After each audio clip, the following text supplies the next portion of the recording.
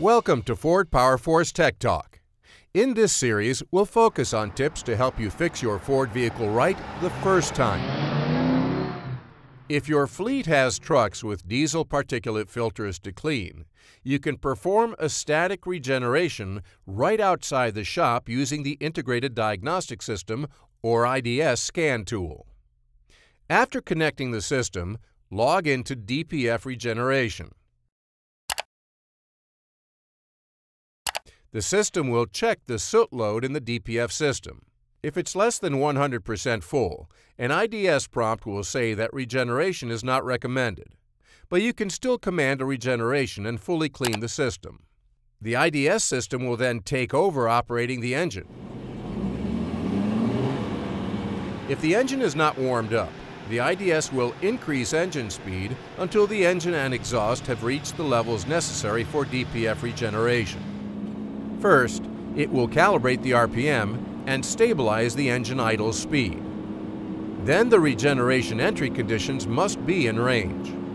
The engine coolant temperature, exhaust gas temperature, fuel rail temperature, and fuel level intake. Check the box available if all four of them are met.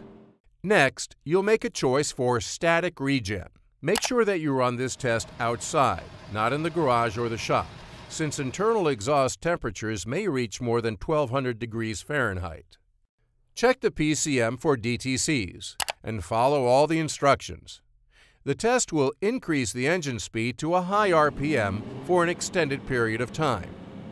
The static routine will require the vehicle to remain stationary throughout the duration of the static regeneration.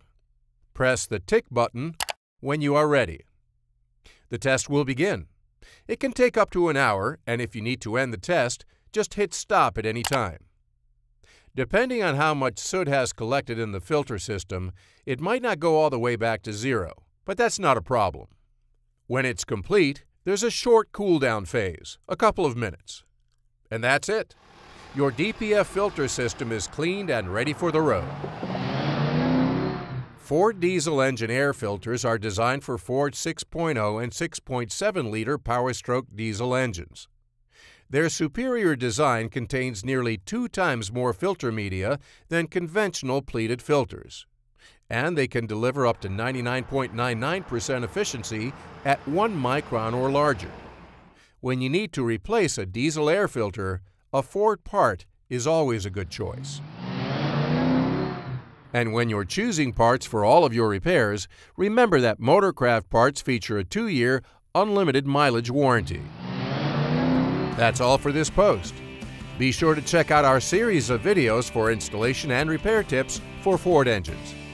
Thanks for watching.